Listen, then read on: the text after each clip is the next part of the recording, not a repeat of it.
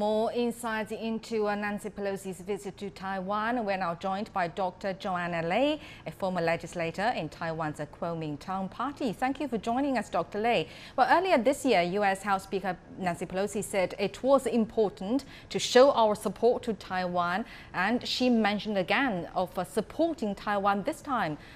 What kind of support is Taiwan getting from this visit or from her? You should read her visit as an act in a very long playbook.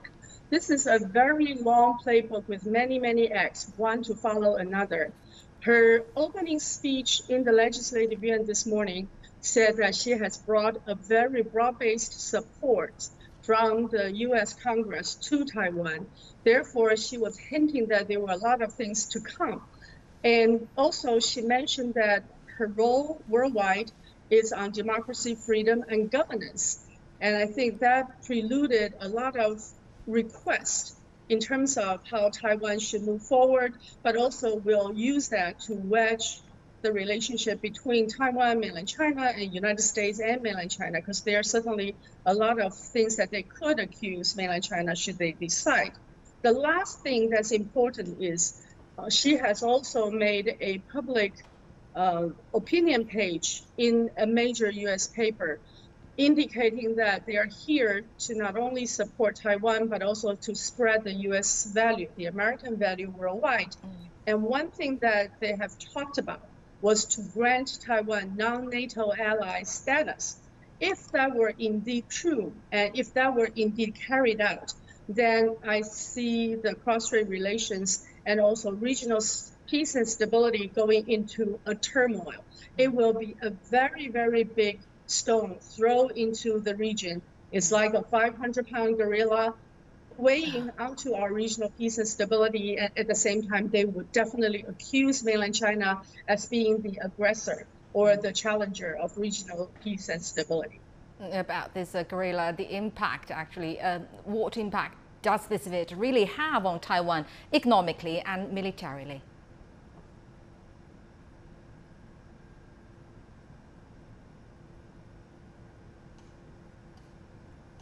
Dr. Lei.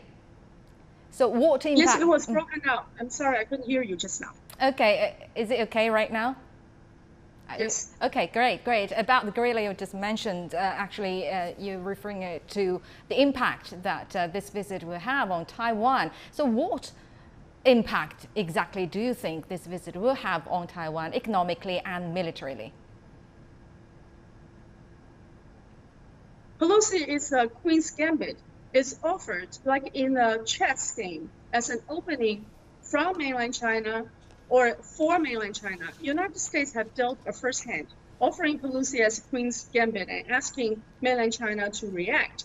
So if mainland China reacts militarily, then it will be accused as the aggressor.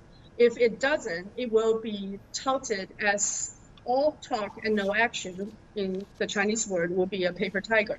So I think the immediate observation is focusing on military. However, there will be huge consequences going forward if we should look at a change or about face change of cross-strait relations. Then Taiwan, as a relatively small economy, as a small island, there will be a lot of repercussions. Namely, in terms of uh, our economic survival, our financial stability, and also the livelihood of everyday people will all be challenged due to this act. For a very small case would be if mainland China started a military exercises all around Taiwan as it's proposed tomorrow, then will all of Taiwan's national defense forces ready to face this kind of combat? Will that change the overall atmosphere of people in this time on the mm-hmm. island are all question marks. So when the United States dealt Nancy Pelosi to mainland China, what will happen is Taiwan will be receiving the short end of the stick. Mm-hmm. All of the potential confrontation between the two giants will focus on Taiwan, and we are definitely in the collision path.